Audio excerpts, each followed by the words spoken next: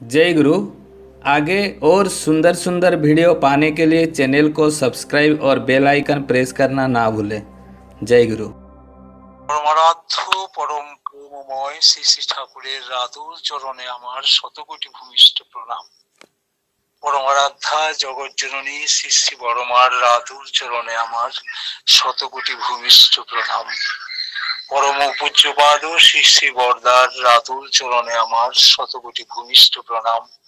পরম পূজ্যপাদ আচার্য দেবের রাতুল চরণে আমার শতকোটি ভূমিষ্ঠ প্রণাম।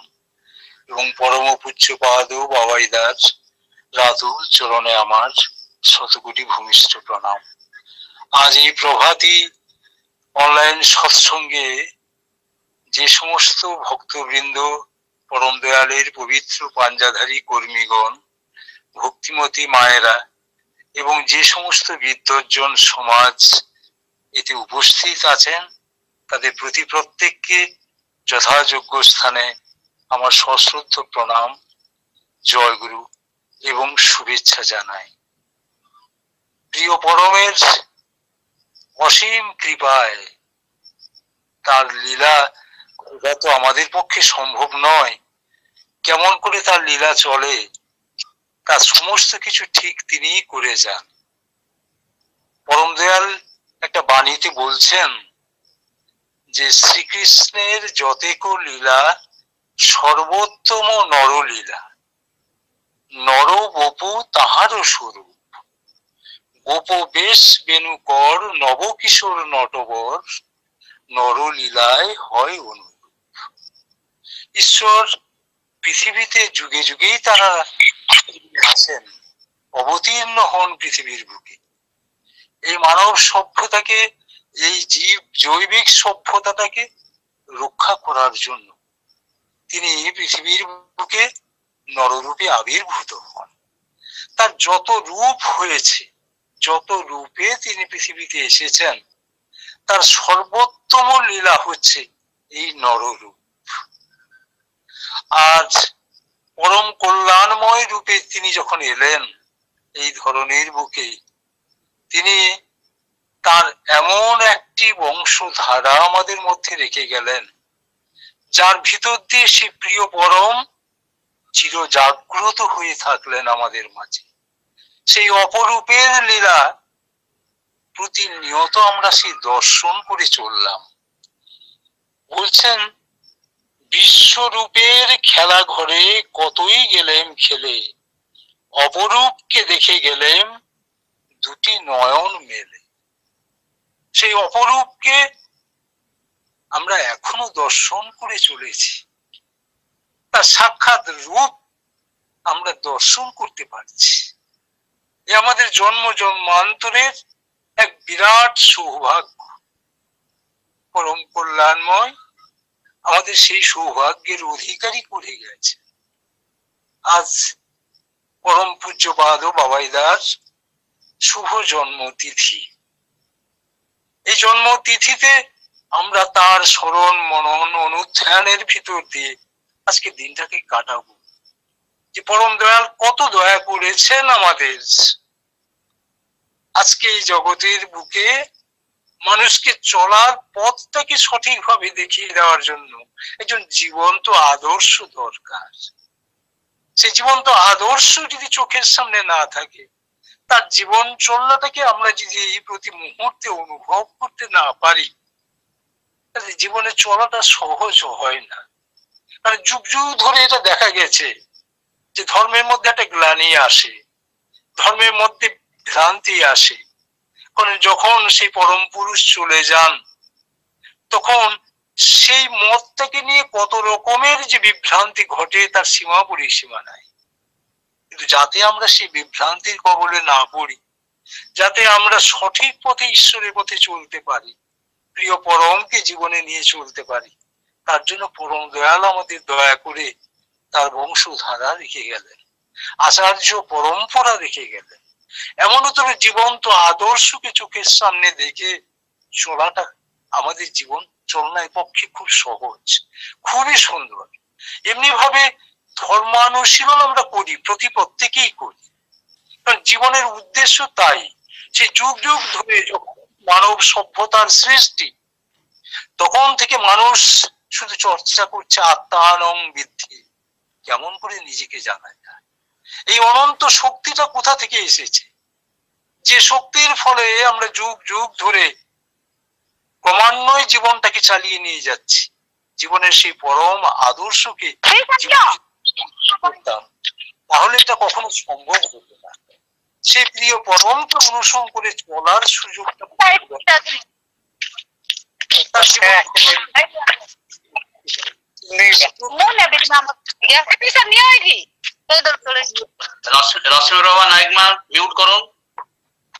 এত সৌন্দর্যময়, এত সুন্দর, এত অমৃতময় তার জীবন প্রতি মুহূর্তে দেখে অবাক হয়ে যায় একটা মানুষ এত পরিচ্ছন্ন ভাবে এত সুন্দর ভাবে এত নির্মল চিত্তে কত রকমের আঘাত আসছে আশ্রমের বাইরের, কত রকমের।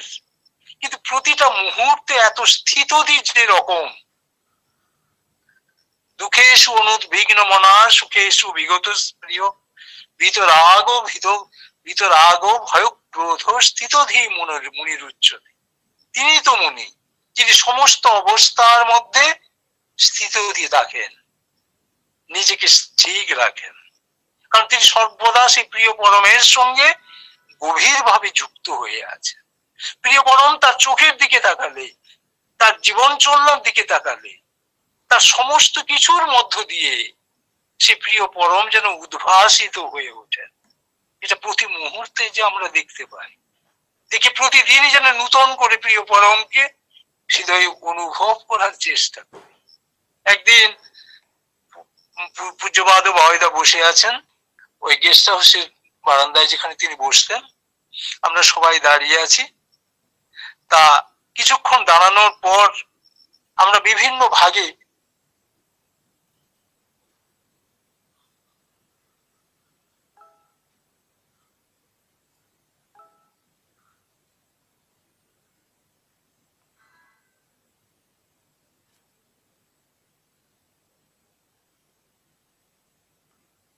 পারতাম না তার সমাধান করতে, তখন তার কাছে আমরা নিয়ে আসতাম।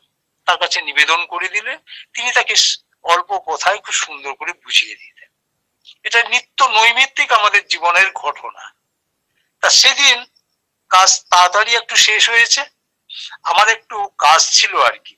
স্কুলের একটু কাজ ছিল, তাই তাড়াতাড়ি আমি ফিরে আসছি। এই ফিরে আসতে গিয়ে ঠিক গ্যারেজের কাছে এসে পৌঁছেছি।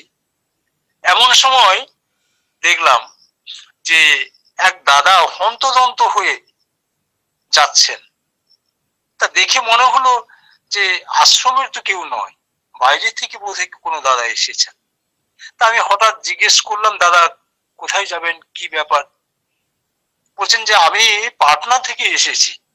তিনি হিন্দিতেই বলছেন, আমি পাটনা থেকে এসেছি। তা আমার সংসারের একটা বিরাট সমস্যা। এমনও তো একটা সমস্যার মধ্যে পড়েছি যে আজ দু বছর ধরে আমি নাকানি চুবানি খেয়ে যাচ্ছি। কোনো প্রকারে আমার সেই সমস্যার আমি সমাধান করতে পারছি না। তবে আমি দীক্ষিত নই। আমি শুনেছি আপনাদের এই ঠাকুর বাড়িতে বাবাইদা বলে কেউ যেন একজন থাকেন।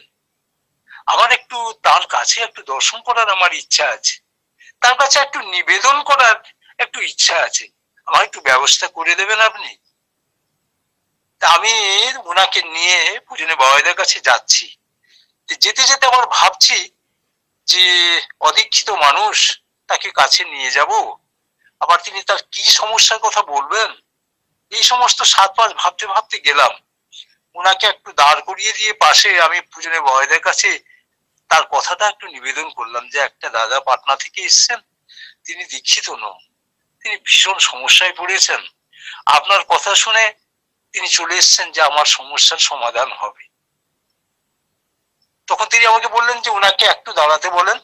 আমার এখানকার অনুষ্ঠানটা শেষ হয়ে গেলে আমি ওনাকে ডাকবো, তার সঙ্গে কথা বলব। তা কিছুক্ষণ অপেক্ষা করার পর তিনি আমাকে ইশারা করলেন নিয়ে যাওয়ার জন্য। আমি কাছে নিয়ে গেলাম। তারপর আমি সরে এলাম, উনি কথা বলছেন। প্রায় আধা ঘণ্টা তার সঙ্গে গল্প করলেন, কথা বলছেন।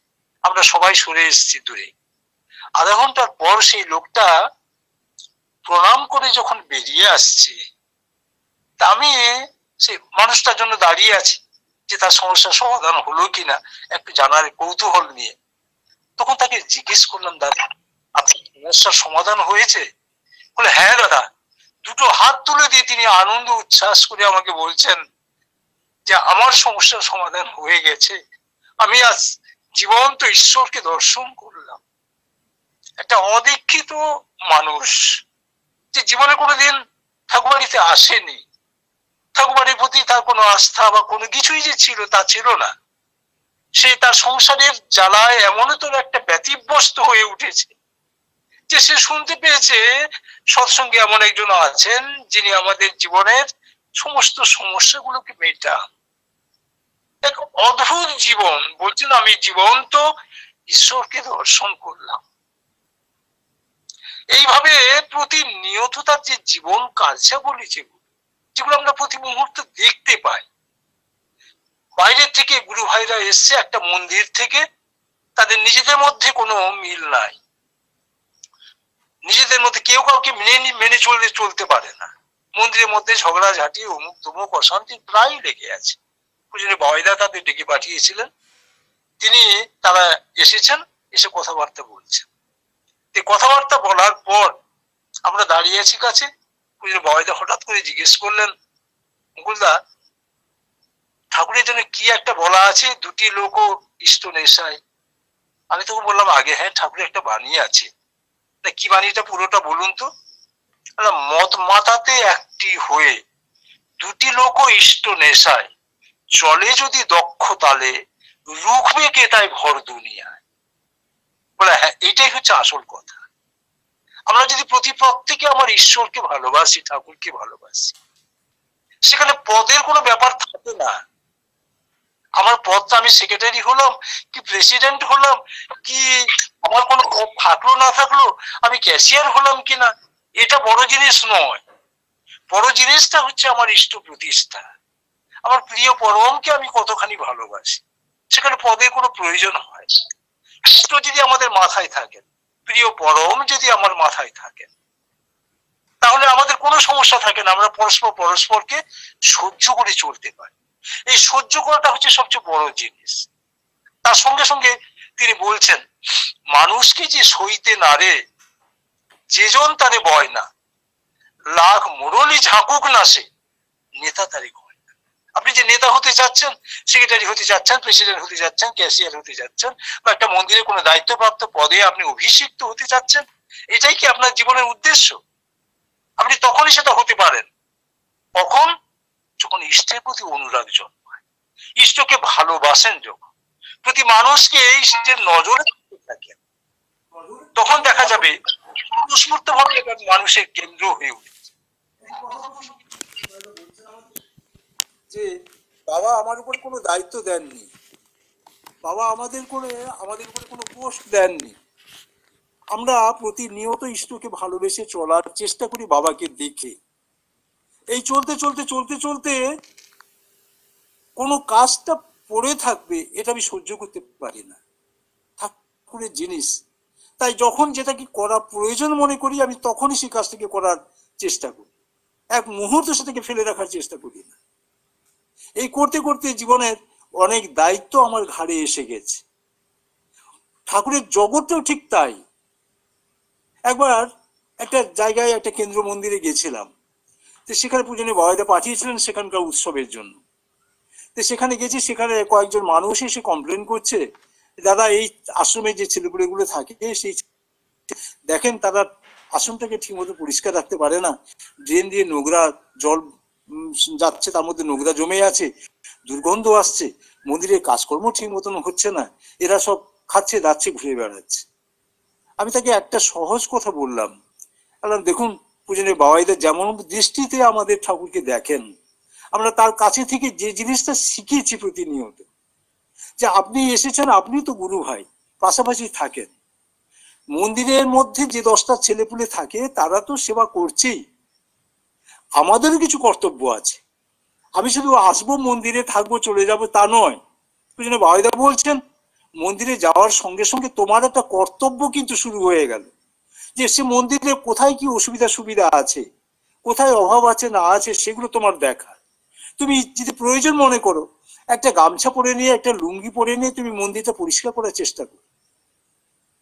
তুমি পাশাপাশি ড্রেনটা একটু পরিষ্কার করে দাও। তাদের যদি কোনো অভাব অভিযোগ থাকে, সেই অভাব অভিযোগটা মেটানোর চেষ্টা করো।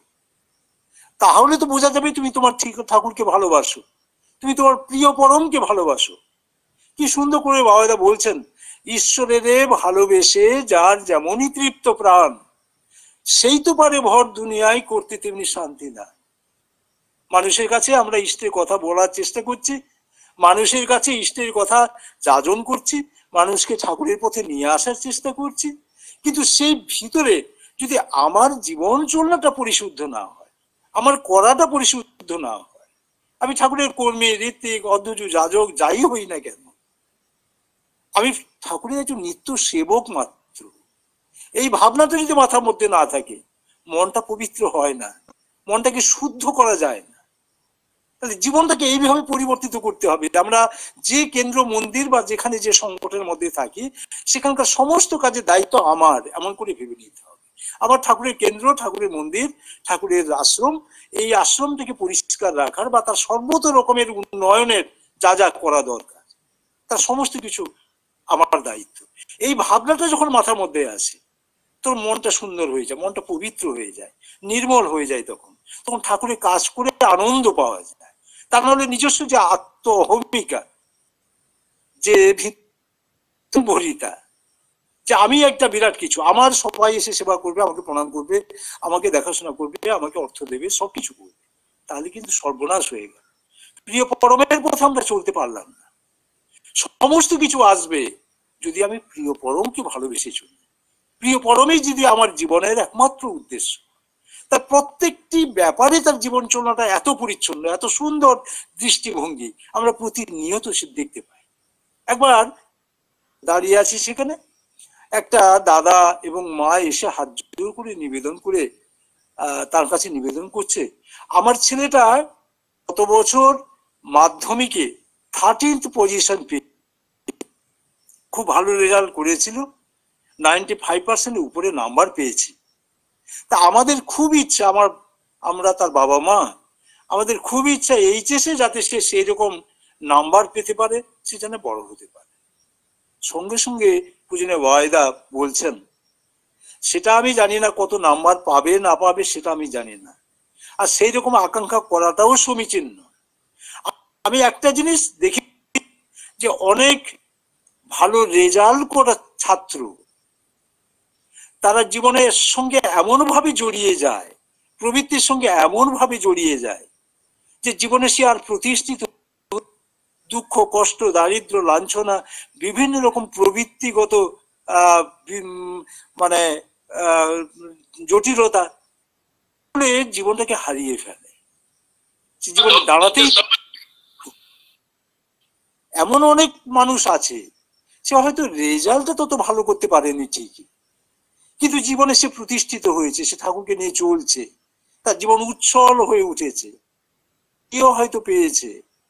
আনন্দময় একটা জীবন সে লাভ করেছে। তা আপনার উদ্দেশ্য ছেলেটা বড় রেজাল্ট করবে, ভালো রেজাল্ট করবে? এইভাবে সে বড় হবে?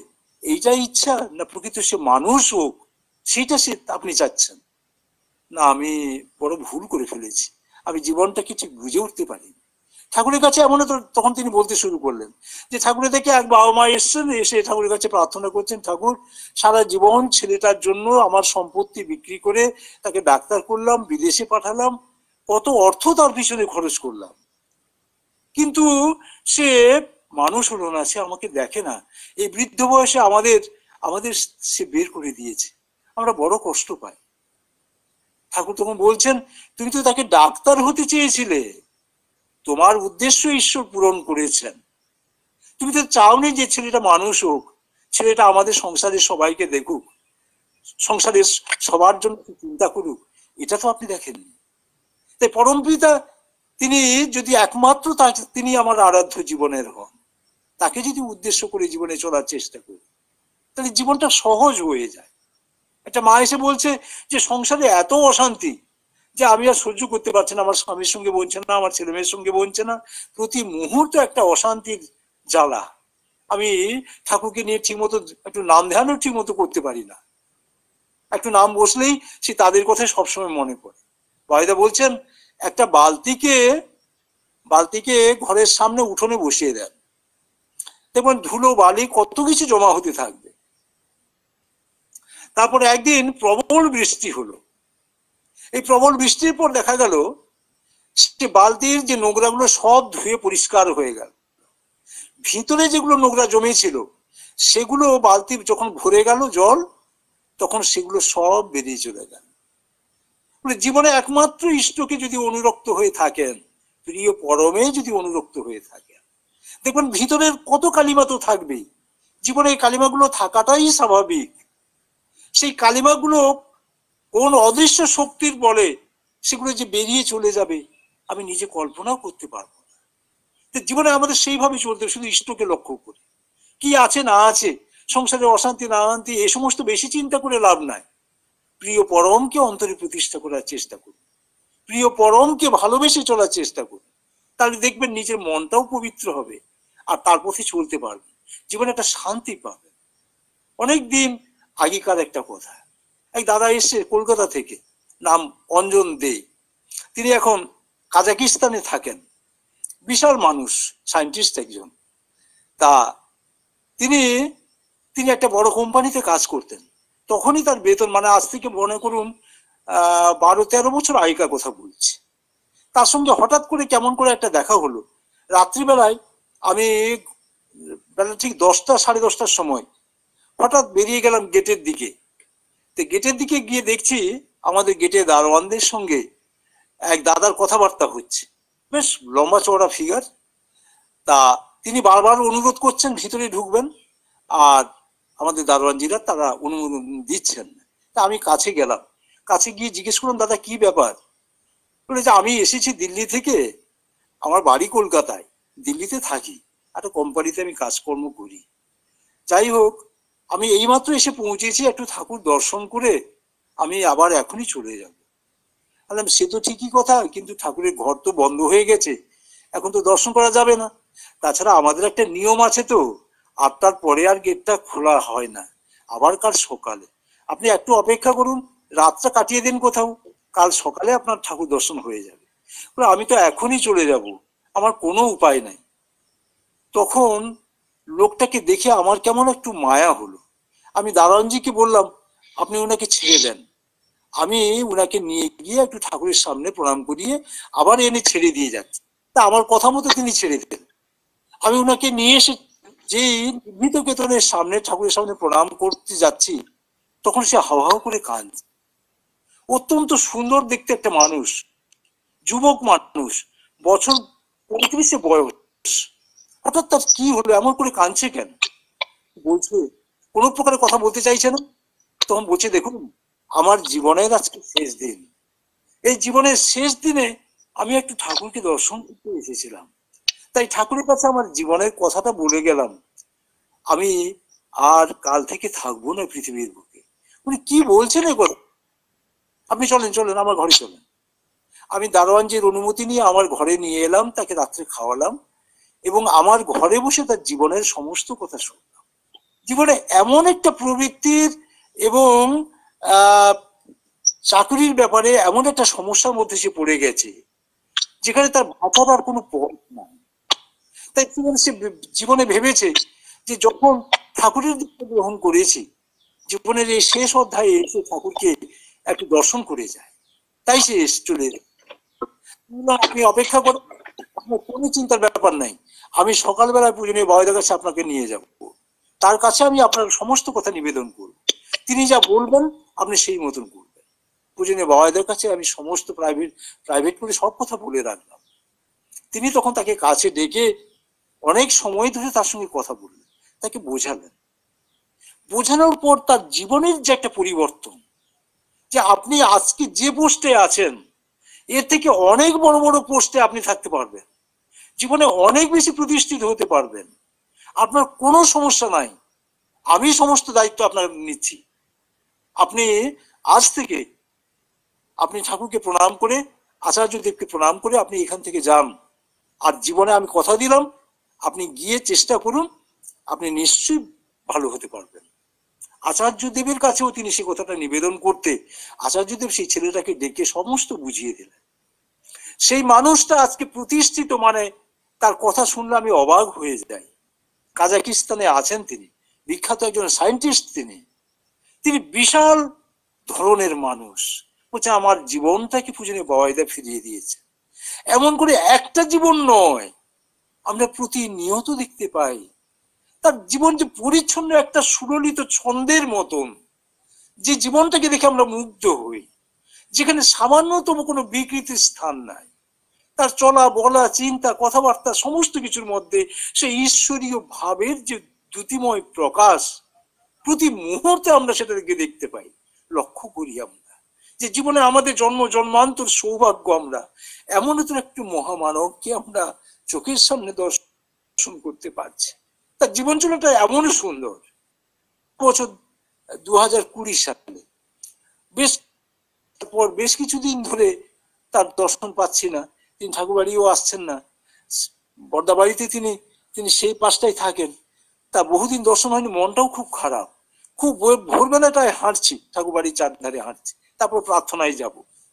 এমন সময় দেখছি সে অন্ধকারের বুক চিরে একজন সে তো শুভ্র, সুন্দর এক মানুষ যেন এগিয়ে আসছেন। চমকে উঠলাম, দেখলাম যে হ্যাঁ বাবাইদা আসছেন। মনটা আনন্দে উচ্ছল হয়ে উঠল আমার। তারপর তিনি এসে কাপড় রেখে তিনি ঠাকুর প্রণাম করে যখন ফিরলেন, আমরা দুজন ছিলাম, দুজন সেখানে প্রণাম করলাম। পুজোর বাবাইদা বলছেন, আপনারা কেমন আছেন? আগে আমরা ভালো আছি সবাই। বলে, জানেন, গুরু ভাইরাও ভালো আছে। আমি সবার খবরাখবর রাখছি, বিভিন্ন মানুষের কাছে ফোন করে তাদের কাছে জানছি যে বিভিন্ন গুরু ভাইদের খবরাখবর নিতে। কিন্তু একটা বিষয় আমার মনটা একটু খারাপ আছে। আমরা হাত করে আছি, কি ব্যাপার, কি জন্য তার মন খারাপ? বলে, দেখেন, এই নন্দন পাহাড়, ত্রিকুট পাহাড় আর ওই আরেকটা ডিগরিয়া পাহাড়। এই ডিগরিয়া পাহাড়ে যে সমস্ত জীবজন্তুগুলো থাকে, সেই সমস্ত জীবজন্তুগুলো, তারা তো টুরিস্ট এরিয়া এটা। টুরিস্টরা গেলে তারা খাবার দেয়, গুরু ভাইরা আসে তারা খাবার দেয়। কেউ পাউরুটি দিচ্ছে, কেউ কলা দিচ্ছে, বিভিন্ন রকম খাদ্য দিচ্ছে, তারা এই সব খেয়ে বেঁচে থাকে। আমি ভাবছি যে এই সমস্ত জীবজন্তুগুলো কি করে বেঁচে আছে? তারা তো মানুষের উপর নির্ভর করে বেঁচে থাকে।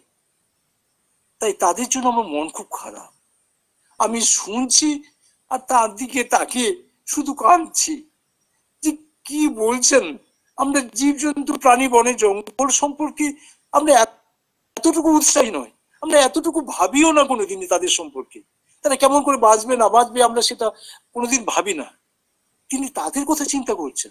তিনি ফরেস্ট অফিসারকে ডেকে তাদের সমস্ত ব্যবস্থা করলেন। প্রতিদিন এই সমস্ত প্রাণীগুলোকে খাওয়ার ব্যবস্থা আপনারা করুন। দেখে তো অবাক হয়ে যায়। নিমেষে চোখ থেকে জল নেমে আসে যে কার সঙ্গ আমরা সান্নিধ্য লাভ করছি। তার জীবন চলনাটা কত পবিত্র, কত সুন্দর, কত কিছু জানা আছে তার। তাকে কোনোদিন বিচার বিশ্লেষণ করে ধরা যায় না। অকপটে তাকে শুধু একটু ভালোবাসা দরকার।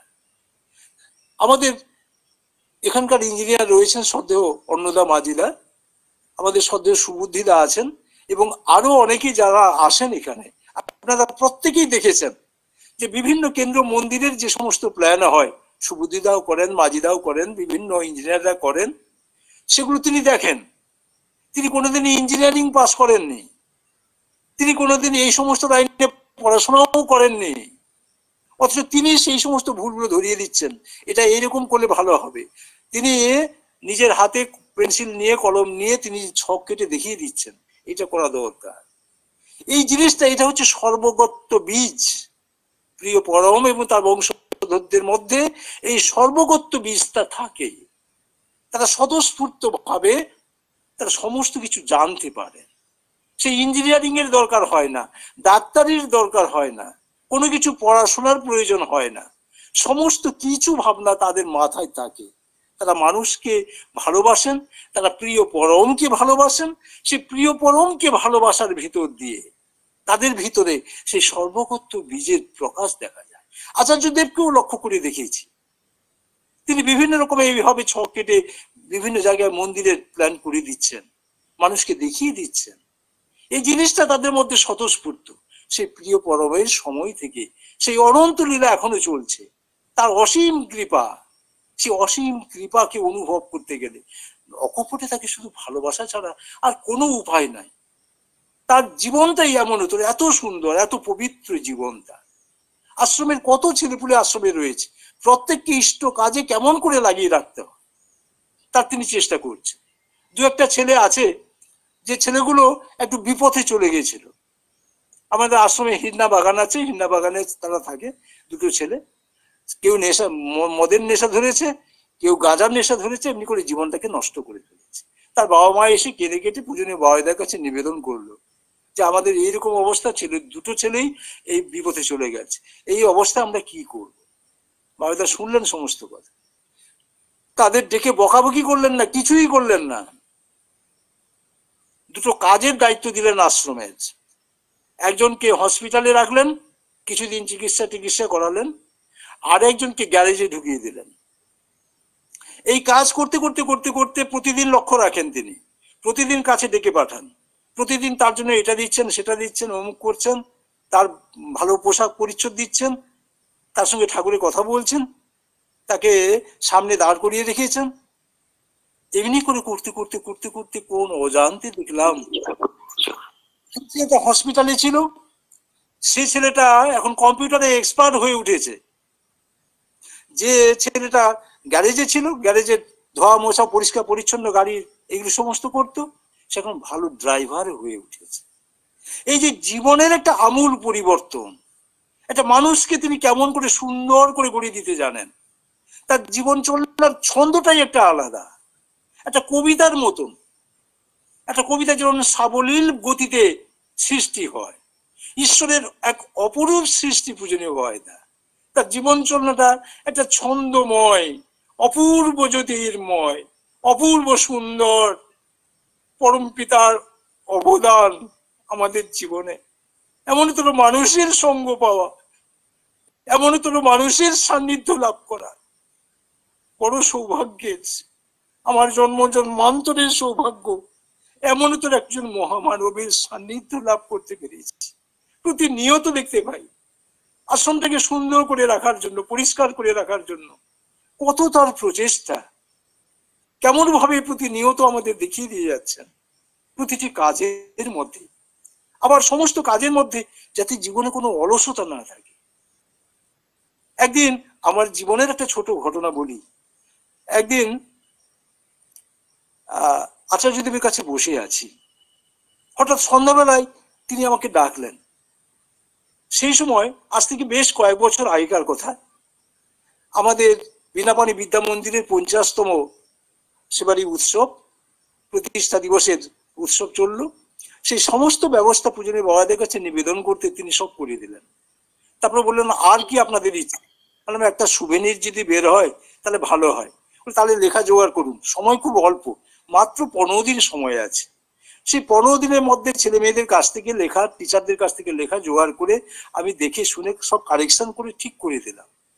তিনি পনেরো দিনের মধ্যেই কলকাতায় পাঠিয়ে সেগুলো ছাপিয়ে ঠিক আমাদের উৎসব যেদিন, প্রতিষ্ঠা দিবস যেদিন, তার আগের দিন আমাকে বললেন যে সমস্ত পত্রিকা এসে গেছে, আপনি নিয়ে যান, সবাইকে ডিস্ট্রিবিউট করবেন।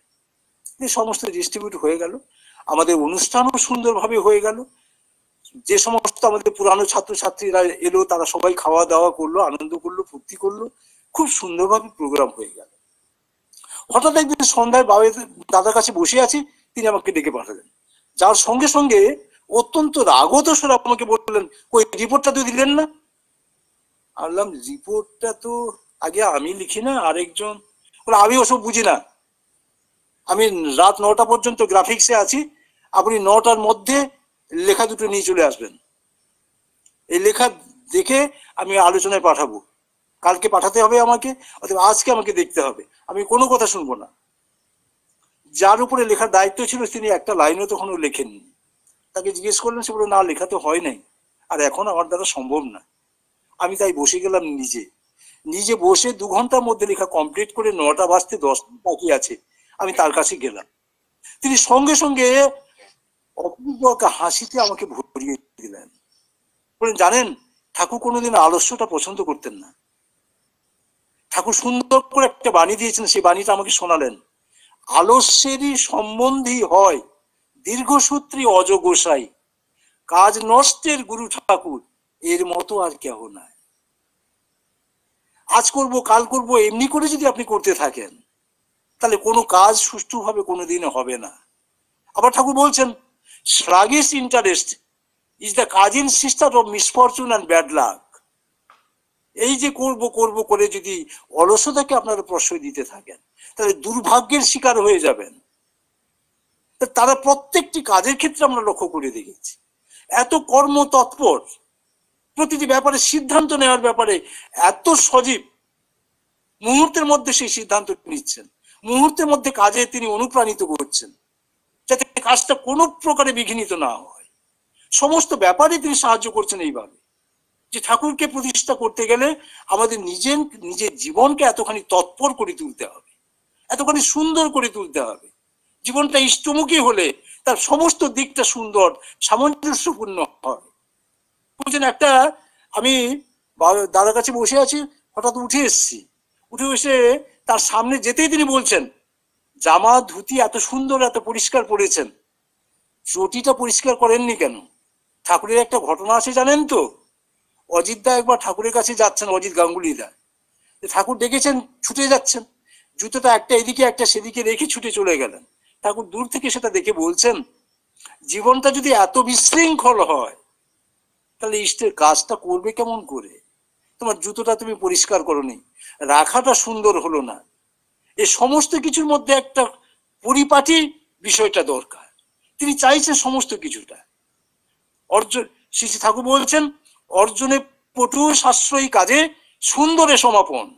এই দেখে তুই চিনবি লোকের যোগ্যতা কেমন, দক্ষতা কেমন। তাহলে একটা মানুষ ঠাকুরের হয়ে ওঠে তখন, যখন তার কথা বলা, তার চিন্তা, তার ভাবনা, তার চলনা, তার সমস্ত কিছুর মধ্যে একটা পরিপাটি সৌন্দর্যের প্রকাশ ঘটে, তখনই সে প্রকৃত মানুষ হয়ে ওঠে। ঠাকুরের ঠাকুরের মানুষ হয়ে ওঠে তখন এমনি করে আপনারা প্রতি প্রত্যেকে প্রিয় পরমের মানুষ হয়ে উঠুন, সুন্দর হয়ে উঠুন। তার ইচ্ছায় চলে নিজের জীবনকে সার্থক, সার্থকে সমাহিত করুন। দয়াল আপনাদের মঙ্গল করুন, কল্যাণ করুন। এই প্রার্থনা জানিয়ে আজকের বক্তব্য শেষ করলাম। জয় গুরু, বন্দে পুরুষোত্তম বলছি মুকুলদা আপনার জীবনের ওই ঘটনা একটা বলেন ওই যে যে অন্ধ যে দাদাটা যেটা বাবাইদা রীতি কনফারেন্সে বলেছিলেন আপনার কাছ থেকে সেই একটা দুটো ঘটনা বলুন একটু পাঁচ দশ মিনিট আরও আছে একটু বলেন এটা। সময়টা কি আছে? আছে আছে আছে আছে। হ্যাঁ আছে আজকে বিশেষ দিনে আছে বলুন একটু। আচ্ছা সেই বলে আমার বক্তব্য শেষ করব। সে আজ থেকে প্রায় পনেরো বছর হতে গেল। সেই সময় পূজ্যপাত দাদার কাছে আমরা সকালবেলাও বসতাম, তারপরে দশটার সময় বাবাই দাদা যখন বসতেন, আমরা সবাই আসতাম, পূজনীয় বাবাইদা আসতেন সিপাইদা আসতেন বিঙ্কিদা আসতেন। তো সেদিনকে শ্রী শ্রী ঠাকুরের জন্মতিথি, তাল নবমী তিথি। এই দিনটাতে আচার্যদেব, পূজনীয় বাবাইদা, তারা সবাই এত আনন্দে ভরপুর হয়ে থাকেন। যে আমার প্রিয় পরমের জন্মতিথি। তিনি সব সময় শুধু সেদিনকে ঠাকুরের কথাই বলছেন সকাল থেকে। তা আমরা সবাই পিছনের দিকে বসে আছি, আমাদেরও আনন্দের শেষ নাই। আজকে খাওয়া দাওয়া থাকা, সবকিছুর মধ্যে, সবার মধ্যে একটা আনন্দ। তা এমন সময় লক্ষ্য করে দেখলাম, আমি একটু পিছনের দিকে সবসময় বসি। তা আমি দেখছি যে আমার পরিচিত একজন ঠাকুরের কর্মী তিনি একজনকে নিয়ে এসে আচার্য আচার্যদেবের কাছে এসে হাঁটু গেড়ে বসলেন। সেইখানে বসে তিনি একটা পেতলের ঘটি তাকে দিচ্ছেন এবং দেখিয়ে বলছেন, এই যে দাদা আমার সঙ্গে এসেছেন, এই দাদাটি অন্ধ। তিনি নিজের হাতে আপনার জন্য এই পেতলের ঘটিটা তৈরি করেছেন। তিনি আপনার জন্য নিয়ে এসেছেন এটা। আচার্যদেব ঘটিটা ধরে তার দিকে তাকিয়ে আছেন যে মানুষটা অন্ধ, অথচ সে এত সুন্দর একটা ছক করা একটা ঘটি তৈরি করেছে। এটা কেমন করে সম্ভব? বলে, ওই তৈরি করেছে। বলে হ্যাঁ ওই তৈরি করেছে। কেমন করে করল? না, ও আগে অন্ধ ছিল না। তার পক্স হয়েছিল পক্সের পর থেকে সে অন্ধ। কিন্তু তার আগে থেকে সে ঘটির কাজ জানতো। তাই এই অন্ধ হলেও সেই কাজগুলো সে শুন দাদা দেখে খুব খুশি। ঘটিটা নিয়ে বারবার দেখছেন হাতে, আর তাদের দিকে তাকিয়ে আছে। আমি পেছন থেকে লক্ষ্য করে দেখছি যে সেই দাদারা যারা নিবেদন করছেন, তার পিছনে এক মা দাঁড়িয়ে আছেন। সেই মা অঝরে শুধু কেঁদে যাচ্ছে দাদার দিকে তাকিয়ে। আমি বললাম, হঠাৎ সেই মাটি কাঁদছে কেন? মাটি যে এদেরই কেউ, সেটা আমি জানি। এটা দেখেই বুঝতে পারছি। তা আমি পিছন দিক দিকে ঘুরে গেলাম। ঘুরে গিয়ে তারা যখন প্রণাম করে বেরিয়ে যাচ্ছেন, তখন আমি জিজ্ঞেস করলাম, মা, আপনি কাঁদছিলেন কেন? তখন বললেন বাবা সে এক ঘটনা। মানে যদি অসুবিধা না থাকে, আপনি যদি একটু বলেন, তাহলে আমরা একটু শুনি। বলে, আমার বড় মেয়ের বিয়ের বয়স হয়েছে। আজ থেকে বছর চার আগেকার কথা বলছি।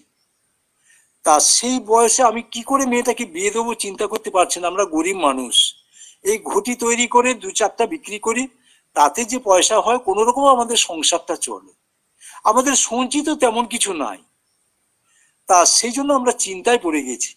আর বর পক্ষে থেকে যে দাবিটা করেছি, সেই দাবিটা দেওয়ার মতো ক্ষমতাও আমাদের নাই। আমাদের আত্মীয় পরিজনকে যা যা বলেছি, কেউ একটা পয়সাও দিতে রাজি নয়।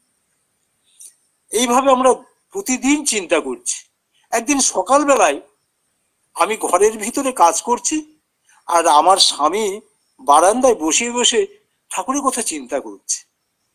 আমি ঘরের ভিতর থেকে লক্ষ্য করে দেখলাম একজন সুন্দর মানুষ, অপূর্ব সুন্দর মানুষ। তিনি আমাদের বাড়িতে এসছেন। আমি ভাবলাম কোনো গুরু ভাই হয়তো এসছেন। কারণ এইরকম পোশাক তো অন্য কেউ পরে না। ধুতি পরেছেন আর গেঞ্জি পরেছেন, তার উপরে পাঞ্জাবিটা পরে আছেন। আর এত সুন্দর দেখতে। তা আমার স্বামীর সঙ্গে কি যেন কথা বলছেন। পরে আমি শুনতে পেলাম, তিনি আমার স্বামীকে বলছেন, তোর মেয়ের বিয়ে? তোর চিন্তার কোনো কারণ নাই। ঠাকুর মাথার উপরে আছেন। ঠাকুরের কথা চিন্তা করবি আর ঠাকুরের কথা সবাইকে বলবি গুরু ভাইদের বলবি। গুরু ভাইরা তোকে সাহায্য করবে। তাতেই তো সব হয়ে যাবে। আমি তখন ঘরের ভিতর থেকে হঠাৎ করে ছুটে আসছি যে কি বলছেন? কোথাকার মানুষ? একটু বসতে অত্যন্ত দিই একটা আসন নিয়ে ছুটে গেছি। আমি যেই ঘরটা দরজাটা পেরিয়েছি তখন দেখি কি নাই।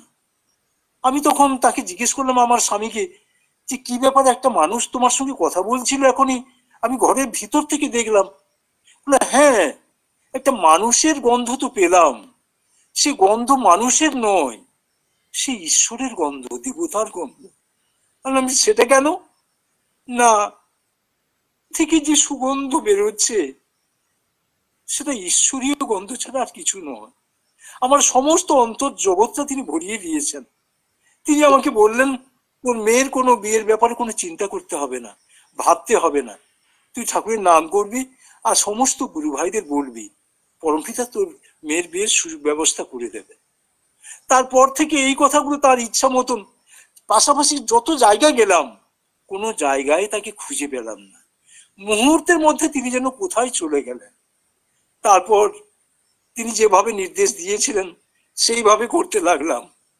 এই করতে করতে মেয়ের বিয়েটা খুব সুষ্ঠুভাবে হয়ে গেল। গুরু ভাইরা অজস্র ভাবে আমাকে সাহায্য করল।